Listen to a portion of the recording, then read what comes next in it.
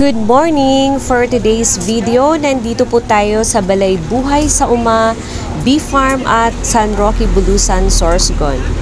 So, syempre, before tayo pumasok, ah, magbabayad muna tayo ng ating entrance fee. 100 pesos po. So, kasama ko po pala yung aking mga pinsan from Manila. Ah, one week vacation lang sila, so kailangan natin silang ah, dalhin sa mga magagandang view tanawin dito sa Bicol. So, eto po ang Balay Buhay sa Uma. Ayan po, pumapasok na po kami sa papasok doon sa loob. Makikita nyo po as in super fresh. Green na green ang paligid. As in makaka-relax ka talaga. So, ayan na po. Pumapasok na po kami sa Ayan. Ah, meron din po pala silang mga cottages as in makikita nyo po na pwede pong pasyalan. Dito naman po papunta po kami sa parang may fish pond sila. Ayan, ang daming isda. Siguro hina-harvest nila to at di, yun din po yung siniserve nila. Kasi meron din po silang ah, kainan dito sa loob. Pwede ka pong mag-order. Ayan o, makikita nyo, ang dami nilang isda. So, iikuti namin to hanggang doon sa Batis.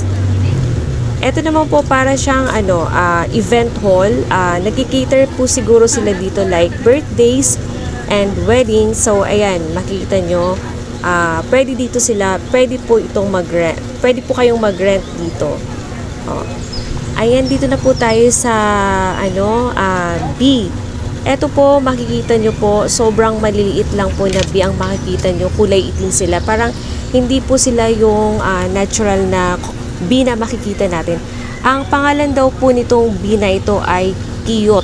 Kiyot po ang tawag nila po dito. Sobrang maliliit lang po ito pero kulay black. Uh, makikita nyo po yung tirahan nila. Ito parang nasa baon ng nyog. Uh, man-made lang po ito. Parang gawa na po nila. Dito po sila nagpo-produce ng honey. Honey bee na yun po yung binibenta nila. Available din po yung honey dito po sa bee farm. So, mas maganda pong makabili dito kasi nga po, uh, pure honey po talaga yung makukuha natin. Hindi katulad po sa market na yung iba is meron na pong halo. So, ayan. Makikita nyo po, ang dami. Ang laki-laki po nung place na ito. Kasi sa paligid makikita nyo marami pong uh, bahay po ng bee. So, ito na po talaga, nandito na po tayo sa Bati sa Uma na sobrang napakalamig ng tubig at napakalinis. As in, makikita nyo po hanggang ilalim kasi sa sobrang linis, sobrang linaw ng tubig dito. Siyempre, maliligo po dito ang aking mga pinsan since wala po akong dalang bisan, kami ni husband, kami na lang po yung mag-video sa kanila. Pero sobrang lamig talaga po ng tubig dito. So, ayan. Uh, hayaan na po natin silang mag-swing. Pero siya nga pala po may entrance fee po dito na 50 pesos.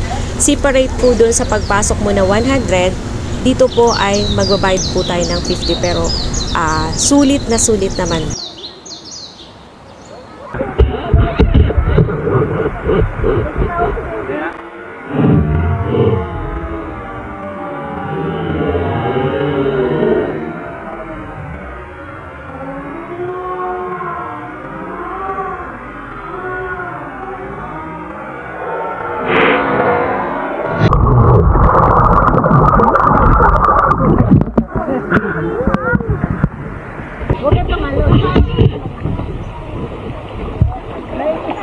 阿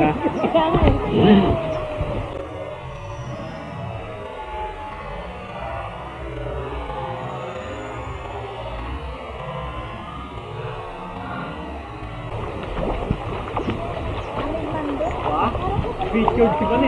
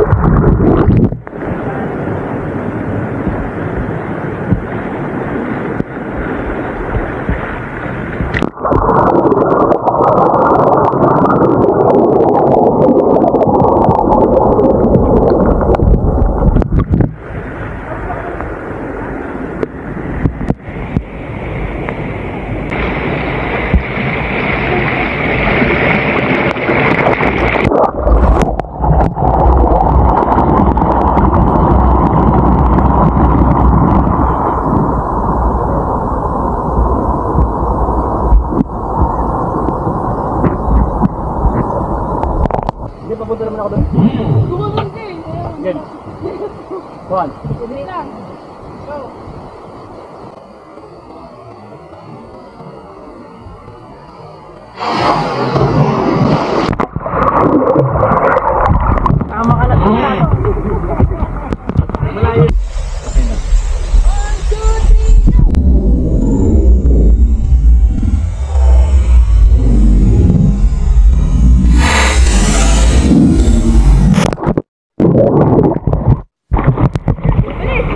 Ha? sisid, sisid.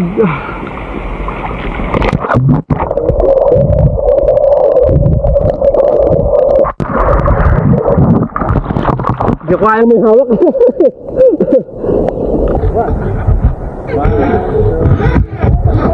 Meron.